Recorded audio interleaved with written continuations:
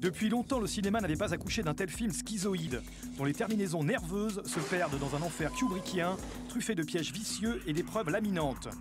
Pris au piège de cet angoissant puzzle mécanique, six personnages en quête de survie se révéleront leur face cachée.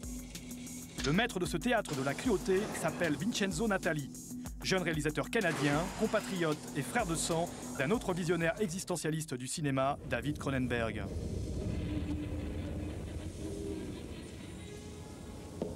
I mean, I definitely feel that is an aspect of, of, of, the inspiration for Cube was this is a group of people who have literally been swallowed by technology and swallowed by an abstract geometric world.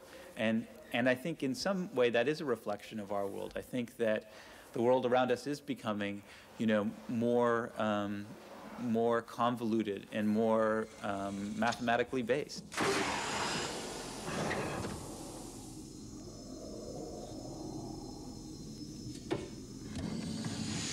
Stanley Kubrick, his films contain these very powerful symmetrical compositions, and Cube is a symmetrical world. Everything about it is identical and self-reflective. So um, yes, the ghost of Stanley Kubrick definitely haunts the Cube. I wanted that sense of a very pure, highly designed kind of world. And um, also another influence would be M.C. Escher, who's a, you know, a Dutch artist. Well, that was the other thing. We wanted a colorful world, too. A lot of science fiction films tend to be very monochromatic. And, and Cube is, is not like that at all. It's, it's full of you know, intense, vibrant colors. And I think Jean Giraud is sort of the master of that.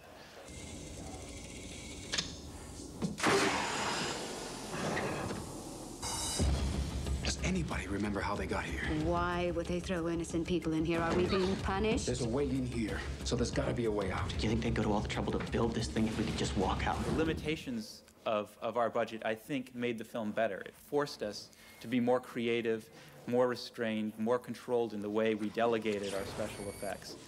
Um, and, and also forced us to rely more on the human story, which I think is where a lot of science fiction films tend to fall short. They, they they become enamored with the hardware and they lose sight of, of you know, the human beings in the movie. Motion detectors integrated into the walls. Tough to spot. Oh, God. Oh, God. Oh, God. This is a movie about um, how our worst enemy will ultimately be within us.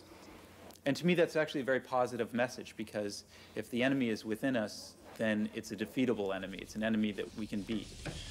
What is it? Serial numbers? Room numbers. They're different in each room. Oh, great. Well, there's only uh, 566,400,000 odd rooms in this thing. Well, there better not be. We have about three days without food and water before we're too weak to move. Whereas if the enemy is outside of us, then there's no hope. So ultimately, I see it actually as uh, an optimistic film.